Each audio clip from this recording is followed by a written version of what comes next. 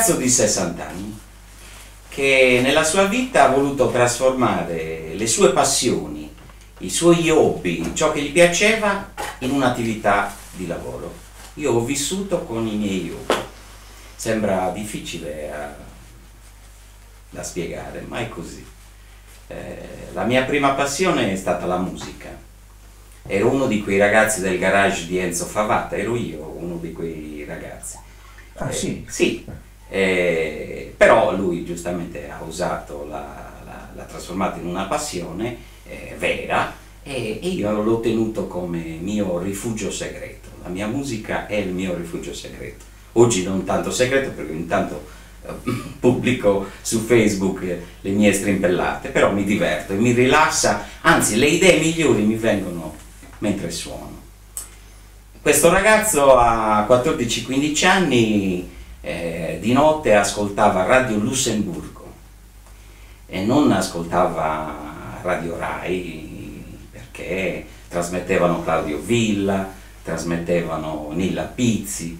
Io invece avevo questa passione filoamericana e quindi io mi collegavo di notte in onde medie eh, su Radio Lussemburgo e ascoltavo i brani rock che provenivano dall'America, eh, Chuck Berry, Elvis Presley ovviamente. Poi quando nascono i Beatles eh, io comincio a raccogliere musica, a acquistare dischi, eh, tutti i soldini che riuscivo a racimolare io acquistavo vinili e che possiedo ancora ovviamente.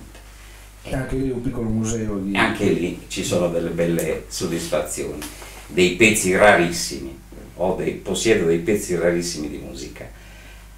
Succede che a 16 anni, eh, durante l'estate, eh, vado a fare il bagno a Mugoni e chiacchierando con i proprietari del vecchio La Stalla, un locale eh, Mitico. mitico, eh, dell'estate algherese e sassarese, capiscono la mia passione per la musica e mi propongono di andare lì il giovedì, venerdì e sabato a mettere i dischi, eh, quelli che io possedevo più quelli che avevano loro, eh, e niente, si sparge la voce che questo ragazzino era così bravo a miscelare i dischi, cioè, avevo dischi stranissimi e la gente però si divertiva, ballava, eccetera, eccetera. L'anno dopo viene a trovarmi Domenico Manca, il proprietario del Mampea, e Angelo Peana, e mi fanno diventare un disjockey professionista. Cioè io sono stato il primo algherese a essere iscritto all'Associazione Italiana Disjockey Professionisti e ho- sono stato cinque anni al Mampea, sono cresciuto lì, i tempi dell'austerity, quando si circolava in macchina una domenica, eh, le targhe paiono de- ecco, e venivano a piedi molte volte al Mampea. Sono stati degli anni bellissimi. Eh, contemporaneamente Giuseppe studiava perché mia madre voleva assolutamente che mi laureassi e, e quindi la passione della musica mi ha, mi ha- tenuto anche eh, dal punto di vista economico sempre molto attivo e quindi cosa è successo? Un giorno sento parlare della radio libera ad Alghero, erano veramente i primordi, eh, c'era Radiolina a Cagliari e basta. Eh, Mauro Mameli, Radio Sandwich, mi invita e mi dice Giuseppe vorremmo fare delle trasmissioni sperimentali, mentre noi controlliamo il segnale ad Alghero, tu metti la musica, un miscelatore autocostruito, un trasmettitore autocostruito in una scatola di sigari. Ecco, questi erano i primordi della radio. Se oggi tu, Farinelli, fai interviste televisive è perché qualcuno in questa città ha fatto prima la radio e poi la grande passione, la televisione. Mi prendevano in giro, mi dicevano ma come fai a fare la televisione?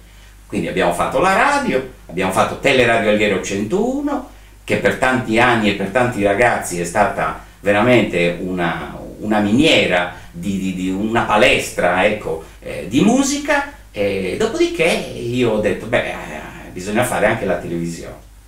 Vado a Milano con 4 milioni di lire, 4 milioni di lire, vado a Milano, compro un trasmettitore, lo monto a Fertilia, dove c'era la torre, eh, c'era una ditta che faceva delle targhe, delle medaglie, eccetera, eccetera. Gli chiedo la, la, la cortesia di farmi mettere questo piccolo ripeti- ripetitore.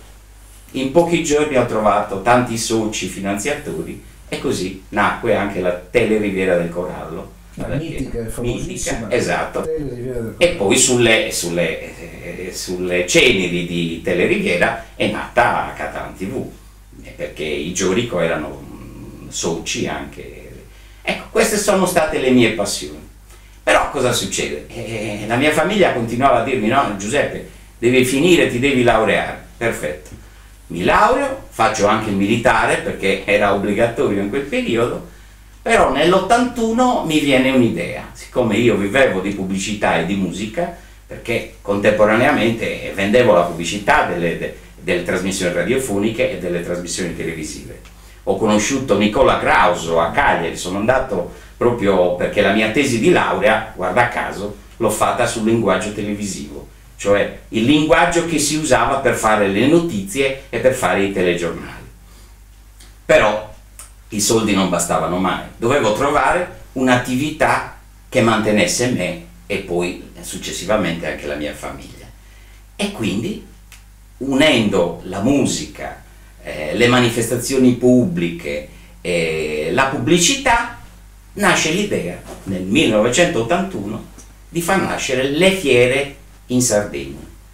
Organizzazione Fiere Sardegna con sede ad Alghero. Ed è quello che fa attualmente? Sì, è, è- è nata nella prima fiera Sassari nel 1982. Siamo nel 2016, ancora non ci sono altre società con questo target in Sardegna. Dove vive attualmente? Io vivo ad Alghero, Eh, mi trovo bene, la mia famiglia eh, vive qui, ho due figlie, una di 22 anni e una di 26, eh, si trovano bene e non mi sono mai voluto muovere, anche se ho avuto tantissime proposte, anche di andare all'estero, perché eh, la professionalità acquisita in questi 30 anni di lavoro eh, darebbe questa possibilità però sono molto affezionato soprattutto a questa città, non solo alla Sardegna, ma molto a questa città. Che cos'è che fa casa secondo lei? Dunque, fa casa l'ambiente dove stai bene, sicuramente. Eh, io ho girato mezzo mondo, non tutto, e questo è un cruccio, eh, spero di riuscire a, a visitare l'altra metà del mondo. Eh, però eh, la Sardegna, credetemi, è un paradiso, è un paradiso. Forse noi non ce ne rendiamo conto, eh, ci viviamo eh, e non lo capiamo, ma è veramente un paradiso. Ha storia, ha cultura, ha paesaggio, ha il mare, eh, ci vuole il lavoro, mancherebbe solo questo. Chi ama Giuseppe Giurato? Tutte le persone che sanno esprimere se stessi, tutte le persone che hanno coraggio, tutte le persone che hanno audacia per stare nel tema della trasmissione, eh, persone che non hanno vergogna di esporsi eh, e di affrontare la vita, eh, di scoprirsi e di trovare sempre nuovi stimoli. Queste sono le persone che io amo. Pensa di essere una bella persona? Beh, sono piccolo, nero e brutto, quello no, però sono vero. Non, Bella ne- inteso nel senso eh, generale, a 360 gradi, certo, eh, fisicamente. bella persona perché ho tanti amici eh, e quindi mm, mi mollerebbero se io non fossi sincero, eh, sono molto gentile, eh, sono disponibile con tutti, posso dire di aver aiutato tante persone nella mia vita e sono contento di me stesso. Che persona è il suo miglior amico? Dunque, in questo periodo ho perso tanti migliori amici, questo è un cruccio, perché la vita ci fa prendere strade diverse e quindi eh, diciamo che quando scegli di avere una famiglia, e di essere fedele alla tua famiglia, un po' ti allontani dalle cosiddette amicizie. Però sto rivalutando anche attraverso i nuovi media. Eh, io Facebook lo uso per conoscere meglio dei nuovi amici eh, e lo suggerisco anche a tanti. Qual era il suo sogno da bambino? Devo dire che ho realizzato quasi tutti i miei sogni da bambino. Questa è una grande fortuna.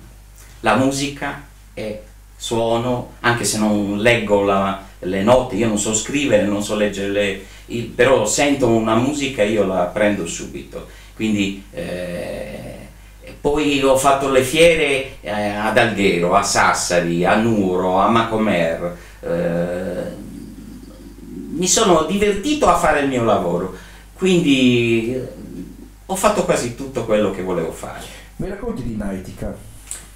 Nautica è stata veramente una scommessa. Eh, io lavoravo già da quasi dieci anni in tutta la Sardegna, ero ben voluto in tutti gli ambienti dove ho lavorato, in provincia di Nuoro dove erano all'inizio molto diffidenti, in provincia di Oristano dove veramente immaginare la fiera era eh, una cosa anacronistica.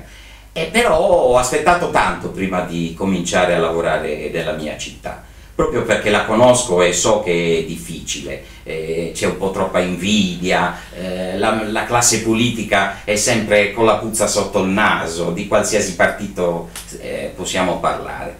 E quindi sono stato molto accorto a cominciare eh, un'attività eh, ad Alghero, però nautica era nella mia testa da tanti anni, eh, il porto stava crescendo, era il momento adatto. proposi eh, questa iniziativa nel 1990 c'era sindaco Pino Giorico, assessore allo sviluppo economico e commercio Pasqualino Porchedu e, e subito ci, cre ci, crebbe in mano questa iniziativa. Andammo alla regione dove c'era il padre di Mauro Pili, assessore alla, ai, lavori, ai lavori pubblici e con una telefonata chiamò l'impresa eh, di Roma e gli disse a maggio dobbiamo fare la fiera nautica ad Alghero, deve esserci il piazzale del porto già pronto, asfaltato per ospitare questa manifestazione. Sì signore, ecco, questo è come funzionava tanti anni fa, eh, l'impegno personale della politica, ecco, e le cose si facevano e si risolvevano. Nautica mi, mi ha dato tante soddisfazioni, centinaia e centinaia di imbarcazioni esposte sul piazzale del porto. Eh, piccole aziende alghiresi che sono cresciute con quella manifestazione perché hanno trovato clienti in tutta la Sardegna, anche molte imbarcazioni eh, della Sardegna sono andate anche all'estero grazie alla, alla, fiera nautica. Purtroppo però nel 98 mi hanno rallentato, mi hanno stoppato e io per fare male una cosa preferisco rinunciare. Stoppato in che senso? Che cosa è successo? È successo che mh, cominciavano a scarseggiare i fondi, eh, le amministrazioni eh, giustamente pensano all'ordinaria amministrazione e quindi eh, un evento come quello che costava forse, adesso non ricordo, un centinaio di milioni di lire alla, alle casse pubbliche, però aveva una ricaduta no, molto molto eh, più grande, eh, in quel momento forse pesavano e quindi per rischiare di farla male l'abbiamo fermata sarebbe utile ricominciare invece oggi. Quanto spesso ride?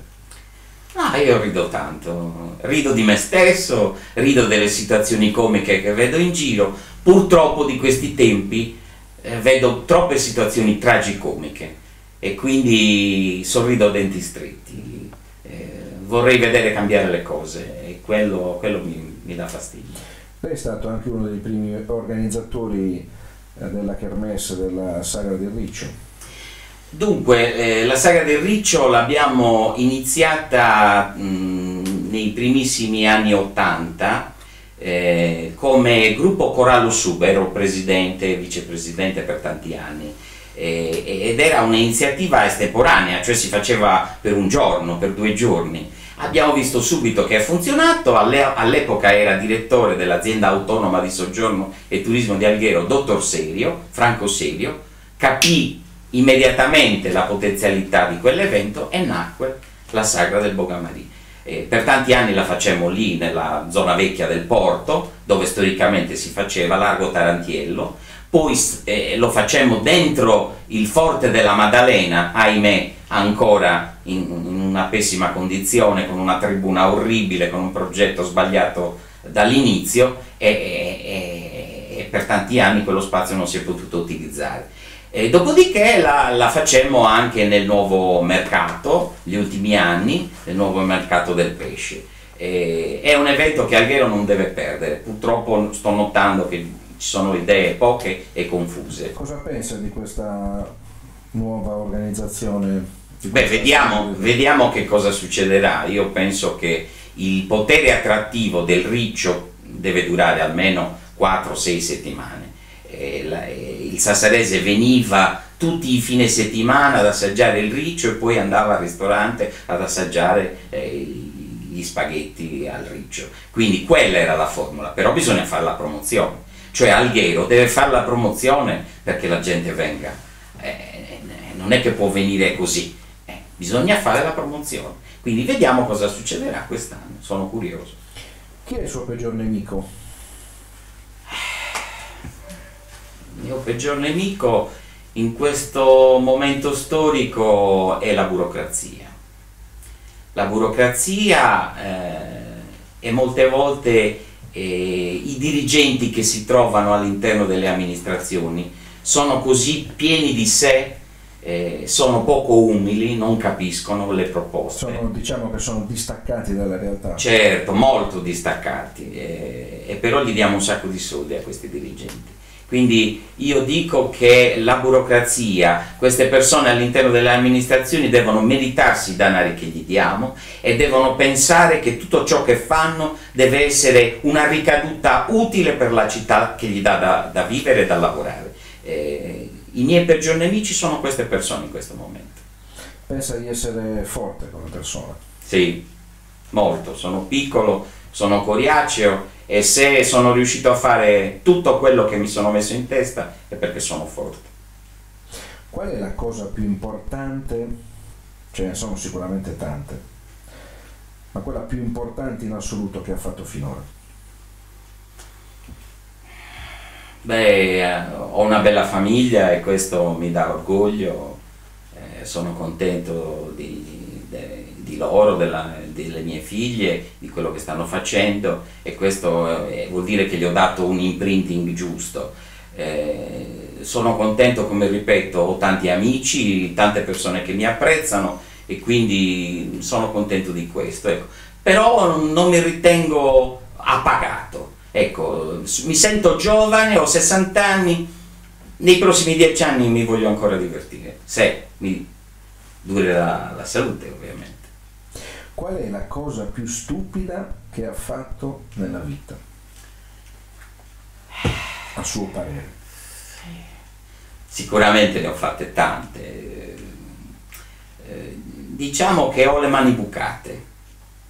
Ho le mani bucate. Col senno di poi eh, ho guadagnato tanti soldi e li ho sperperati, se vogliamo. Ho fatto di tutto. Eh, c'erano degli anni in cui io fatturavo un miliardo di lire, quindi non ho paura, tanto le tasse le ho pagate all'epoca, quindi eh, ho fatto degli errori, ecco sì, degli errori finanziari probabilmente, eh, non ho saputo eh, conservare eh, qualche soldino in più, però ho le idee, ho le idee, io dalle idee si può sempre riprendere.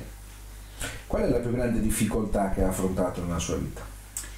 La sto trovando adesso la più grande difficoltà, perché negli anni in cui io volevo fare le manifestazioni andavo a Nuoro... Stai parlando comunque nell'ambito lavorativo? Nell'ambito lavorativo, sì. Eh, non avevo paura di incontrare personaggi che non mi conoscevano. Eh, invece sto trovando tanta difficoltà qua e, e credo che la, la cosa che mi spaventa di più è trovare l'ignoranza. Cioè, quando le persone non vogliono capire o fanno finta di non capire, eh, oppure proprio non ci arrivano a capire eh, la novità dell'evento eh, e quindi questo mi dà molto fastidio. Che cos'è che la fa piangere di gioia? Guarda, tante volte vedo una scena e mi emoziona, eh, anche una fotografia. Io sono un collezionista, eh, ricerco foto antiche, foto storiche, eh, so vedere attraverso le immagini, proprio per l'uso che ne ho fatto nel tempo eh, della televisione, e, e mi emoziona. Vedere una scena eh, ben girata, una musica che si abbina bene a quella scena mi emoziona. Eh, non piango molto spesso, ma mi emoziono dentro. Qual è stata l'ultima volta che hai pianto? Ah, ieri. Ieri. Guardando una foto? Eh, cambiando canale eh, in televisione certe volte eh, vedo per esempio dei vecchi filmati in bianco e nero e mi emoziono a capire la crescita ehm, socia sociale, socio-economica della nostra eh, nazione. in quest'ultimo periodo sto facendo molte cose eh, legate al passato, ma cercando di attualizzarle, cioè facendo vedere che certe eh, idee erano geniali negli anni 60 e ancora oggi, se ben sfruttate, sono, sono utili, sono molto utili. Tornerebbe a fare il DJ in radio? Beh, lo speaker? Sì, sì, sì, lo farei molto volentieri. Eh, tutti dicono, chi ha fatto radio, che la radio dà quella libertà che la televisione non, eh, non consente. Eh, puoi andare vestito come vuoi e dare dei messaggi bellissimi. Eh, la televisione è un po' più complicata, quindi la radio è veramente uno strumento eccezionale, ancora di grande attualità. Sta tornando la radio secondo me? Sì, secondo me sì.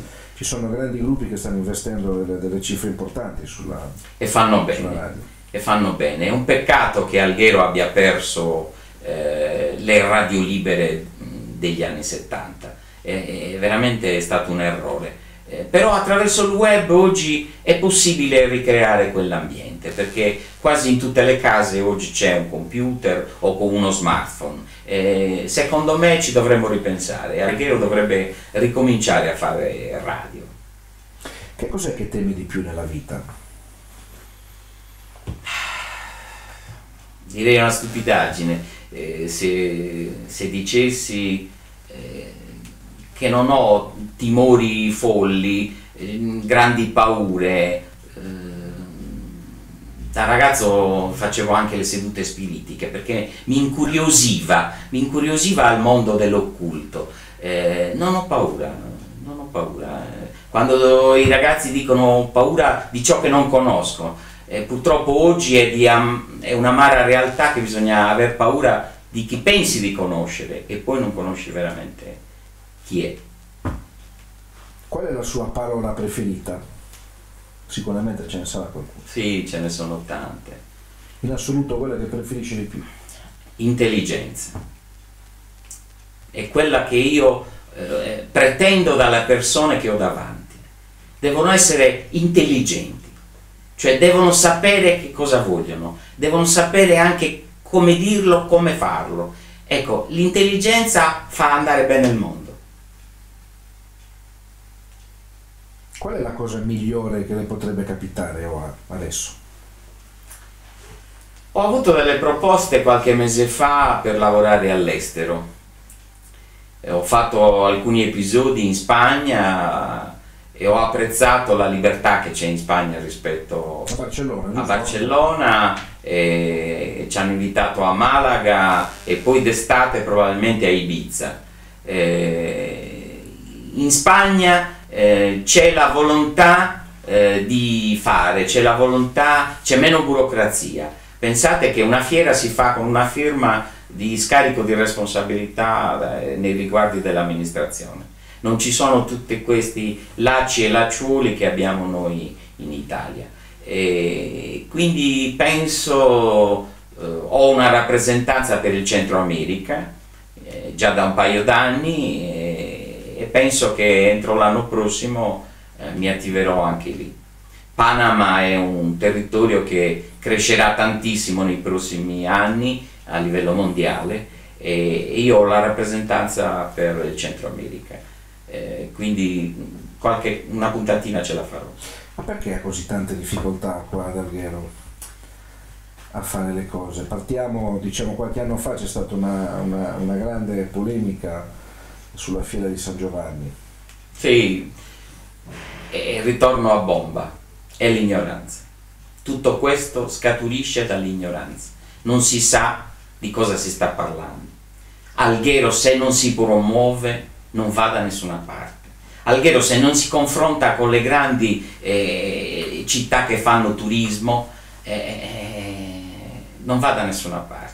Quindi bisogna fare eventi tutti i fine settimana, che sia la fiera, che sia lo spettacolo, che sia lo sport, che sia il rally, che sia il motocross, che sia il culturismo, cioè bisogna fare sempre, bisogna attrarre pubblico. È chiaro che la città deve essere pulita, la città deve essere eh, decorosa, deve avere il verde, il mare pulito, deve funzionare tutto quello eh, per il turismo. Ma siccome qui non ci sono industrie, facciamo funzionare il turismo, il bar deve avere pubblico, deve avere gente, il ristorante deve fare i coperti necessari per pagare gli stipendi, le discoteche devono essere piene, insomma, tutti gli alberghi, le, le pensioni, eh, tutti lavorano se qui viene gente.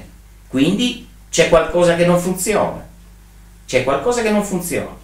Per tornare alla polemica eh, su di me, eh, mi hanno rallentato l'attività perché nei nove giorni in cui io faccio una fiera viene tanta gente alla fiera. Sì, ma non è che sta 24 ore in fiera. Vede la fiera, vede, visita 50-60 stand e poi va nel centro storico, va in altre attività e frequenta altri luoghi di questa città. Quindi è l'occasione della fiera che porta gente, dopodiché la gente va eh, in altre, eh, in altre realtà.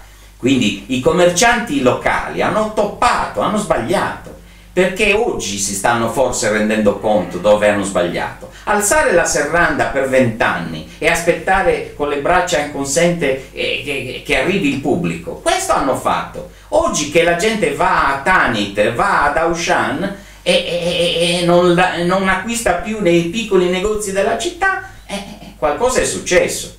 Non vi siete aggiornati, non potete aspettare sulla porta e alzare la serranda e attendere. Bisogna fare di più. Come si vede tra cinque anni? Bah, sarò tutto con i capelli bianchi, penso. I baffi non li perderò, ce li ho da quando ero ragazzo, non li ho quasi mai tagliati perché mia moglie non vuole. E come mi vedo fra cinque anni? Se ho la forza di adesso avrò inventato qualcos'altro di nuovo, sicuramente. Magari sono in Costa Rica o a Panama. Ha qualche impianto? Sì, quello che ho detto prima, potevo essere più accorto, ecco, risparmiare qualcosa di più e, creare la cosiddetta eh, economia alternativa, cioè investire in qualche altro settore, ma faccio ancora in tempo. Qual è la prima cosa che pensa quando si sveglia al mattino? Ma generalmente, generalmente mi programmo. Eh, quando mi addormento faccio un check up e, e, la mattina quando mi sveglio sono quasi già pronto, ho la, la giornata programmata. Quando ha preso la decisione più importante della sua vita, in assoluto la più importante della sua vita, che cosa ha seguito maggiormente? La ragione o il cuore, l'istinto? Ah, il sentimento, il sentimento. Eh, la scelta di mettere su famiglia si fa perché la tua cultura ti porta, eh, perché hai trovato la persona giusta, perché vuoi mettere al mondo dei figli e quindi è il sentimento eh, abbinato un po' anche a, alla nostra cultura, alla nostra tradizione. Eh, I miei genitori mi hanno allevato eh, dandomi questi principi e io credo di averli attuati. Qual è il punto fisico più alto in cui è stato? Beh, in montagna, sono andato a sciare qualche volta, eh, quindi Monte Bianco, penso. Mm sull'Everest non ci sono stato. Se avesse la possibilità di cambiare una cosa nella sua vita, proprio adesso, che cosa cambierebbe? Mi piacerebbe tanto fare il direttore della fondazione Meta di Alghero. Beh. Sì, perché la trasformerei in una società pubblicitaria. cioè le persone che ci lavorano devono portare il reddito e quel reddito deve dare ricaduta alla promozione di tutta la città. Te la dico in anteprima, sto pensando di candidarmi. Non so se troverò un partito eh, che voglia un uomo libero all'interno, ma mi candido e mi candido per fare quello che ti sto dicendo. La Fondazione Metta deve portare gente in questa città, deve promuovere questa città e deve usare tutti i canali economici per farlo.